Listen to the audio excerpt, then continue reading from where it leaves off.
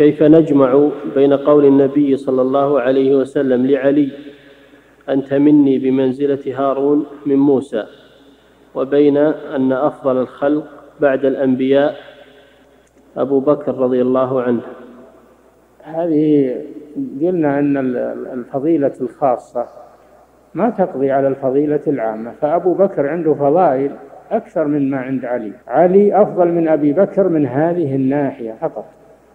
لكن أبو بكر أفضل منه من نواح كثيرة والفضيلة الخاصة لا تقضي على الفضيلة العامة هذه قاعدة.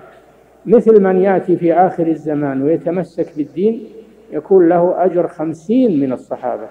هل معنى هذا أنه يكون أفضل من الصحابة؟ لا لكنه أفضل منهم في هذه المسألة فقط وهي صبره على التمسك بالدين مع الغربة فهو أفضل من الصحابة في هذه المسألة لكن الصحابة أفضل منه في مسائل كثيرة.